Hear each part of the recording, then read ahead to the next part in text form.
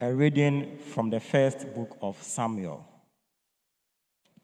Hannah rose after a meal at Shiloh and presented herself before the Lord.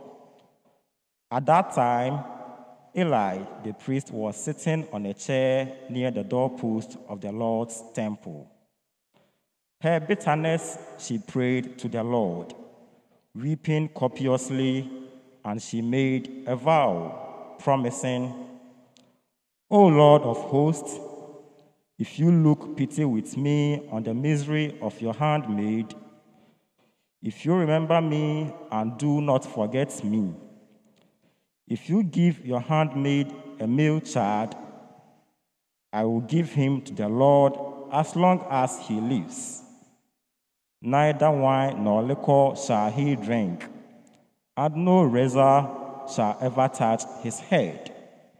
As she remained long at prayer before the Lord, Eli watched her mouth, for Hannah was praying silently.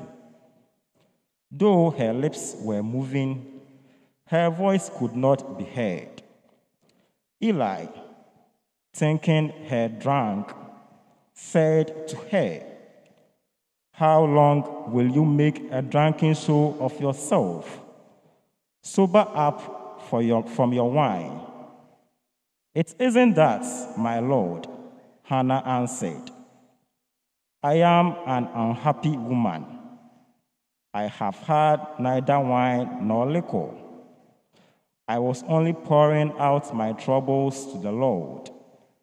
Do not think your handmaid a ne'er do well.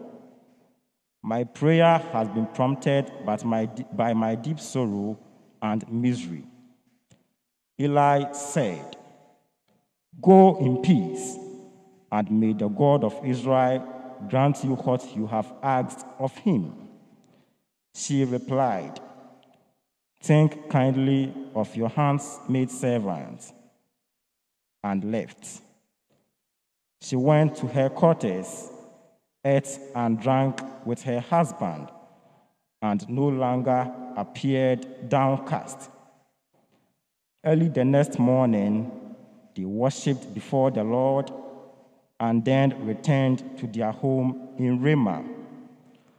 When Elkanah had relation with his wife Hannah, the Lord remembered her. She conceived, and at the end of her term, bore a son whom she called Samuel, since she had asked the Lord for him. The word of the Lord. My heart exalts in the Lord, my Savior.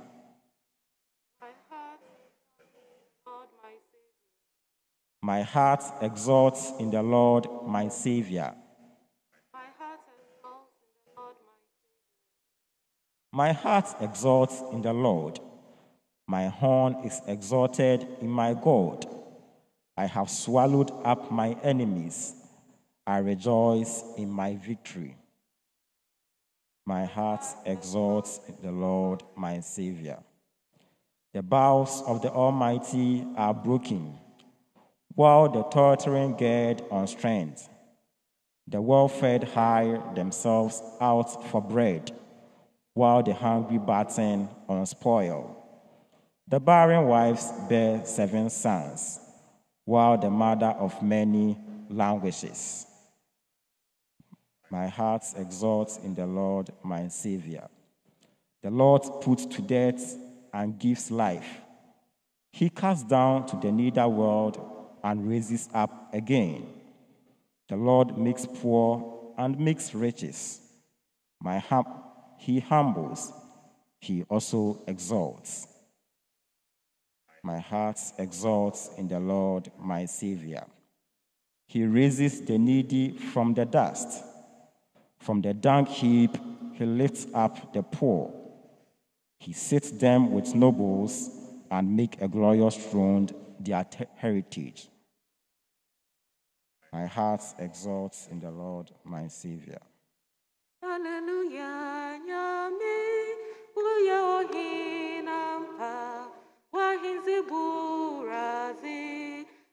corazón,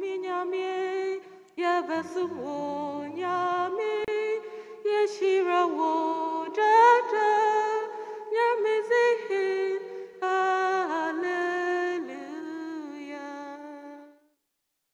Receive the word of God, not as the word of man, but as it truly is, the word of God.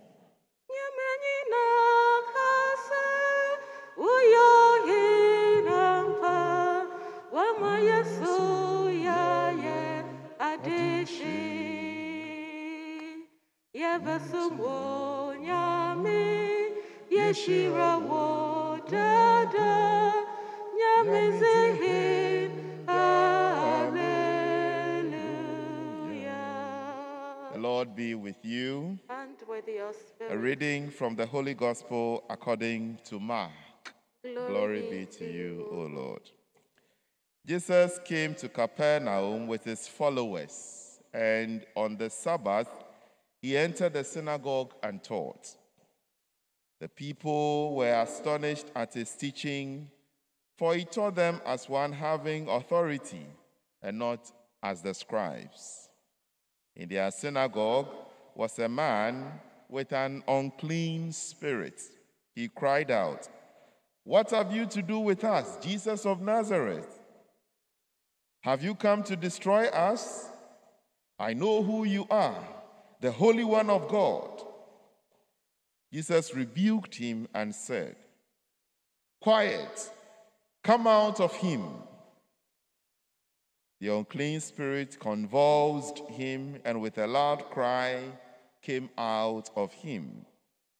All were amazed and asked one another, What is this? A new teaching with authority.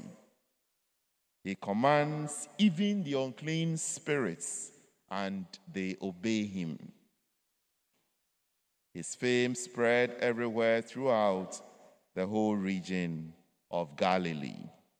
Brothers and sisters, the gospel of the Lord. Praise to you, Lord Jesus Christ.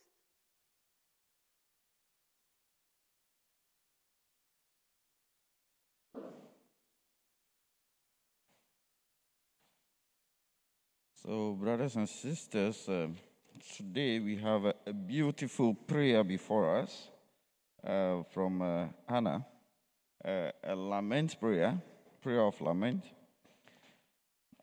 and uh, with uh, serious words, okay, and the promises, making vow and all that.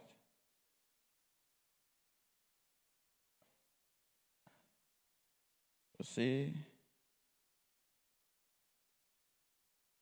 And is asking for something that maybe may not happen. But the prayer was so moved, and then he, he has the confidence. You see, after the prayer, he had peace to go and eat and drink. But before then, she couldn't. So it's like she believed that God has listened she believed that it's done. You know, Jesus said what? He said, when you ask for anything, believe that it's done, and you receive it before it's even done, okay? These are words. But do we internalize it? We apply it. And I, I, I see it here in, in Hannah. And then look at um, Eli, who was uh, sitting there watching. You see, sometimes we we just judge people by appearance, okay? So mm, he's a drunken person and all that. But after she explained herself, you see, coming closer to the person and then knowing the person, change of attitude. Change of attitude. You see, these are a few things I just want to point out.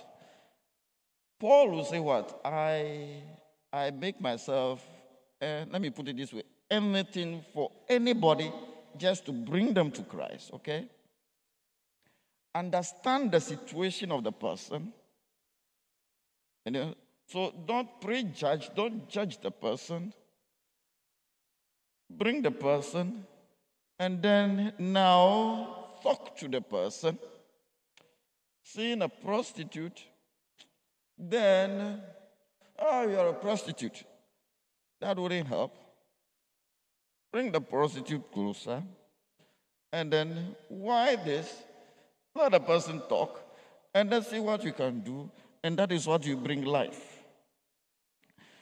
You see, but the prayer with uh, all this. And uh, Hannah fulfilled the promise. You know, later on, you see that. And the only child, only son, but because he made a promise, he fulfilled the promise. How many of us will do that? Look, we pray before meals, okay? After eating. How many of us pray prayer after meals? Some of us don't even know it anymore. We don't pray. Or maybe some people do. Myself, I'm a victim. When I finish eating, my belly full. Happiness, I'm gone. You see? But whatever we put into prayer, let's try to be of that word. And of course, it's a prayer you are making. So let us also believe. Because sometimes you can pray without believing that it will happen. This happened with her. She believed, and then she went, and then had a feel and is happy, and it came. It happened.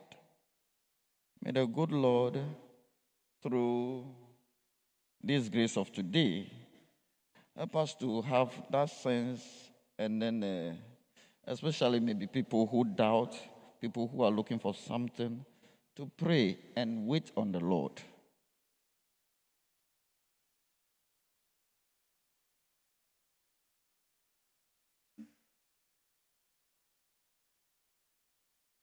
Shall we rise? Lord, hear our prayer. Lord, hear our prayer. Let us pray for our priests, who, like Eli, guard the doorposts of the Lord's temple, that they may be holy and compassionate toward those who suffer. We pray to the Lord. Lord, hear our prayer. For all who hold positions of power and influence, that their borrowed authority may be subject to the divine spirit of authority with which Jesus taught us the ways of love and justice. We pray to the Lord. Lord, hear our prayer. For barren mothers who long for a child, for confused young mothers who are tempted to abort their children, that adoption may be the link of life between them. We pray to the Lord. Lord, hear our prayer. That the weak may gird on strength, and the hungry and homeless find shelter and care, and that Jesus may again cast out every unclean spirit that troubles us. We pray to the Lord. Lord, hear our prayer. For those who have gone before us in death, that they may rejoice in the victory of the Lord who gives lives and raises his own from the nether world. For this we pray to the Lord. Lord, hear our prayer. Hail Mary. Full Full of of grace, the Lord is with thee. Blessed are you among women, and and blessed is the fruit of thy womb, Jesus. Holy Mary, Mother of God, pray for us sinners, now and at the hour of our death. Amen. Amen. We ask all this through Jesus Christ our Lord. Amen.